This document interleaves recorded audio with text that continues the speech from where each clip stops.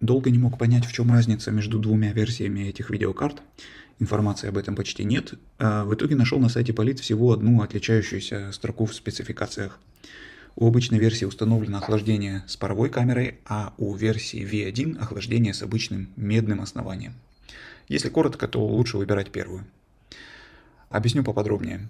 В случае с версией V1 тепло от чипа отводится просто по металлу, его много, поэтому охлаждение будет тяжелее на несколько грамм или даже десятков грамм. Кстати, информации о весе обеих версий на сайте Polit нет.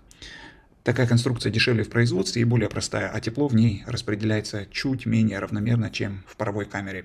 Внутри этой паровой камеры находится жидкость, которая поглощает тепло при испарении у чипа и конденсируется обратно в жидкость в радиаторе, стекая обратно.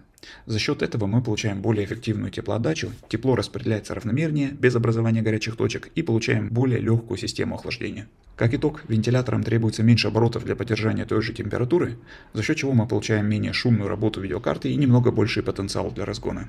Еще добавлю, что лучшая версия имеет букву А в конце кода продукта, а худшая Y, он же Y. Ну и штрих-коды у них тоже отличаются последними цифрами. Кстати, то же самое можно сказать и о видеокартах от Gainward. По сути, это тот же полит.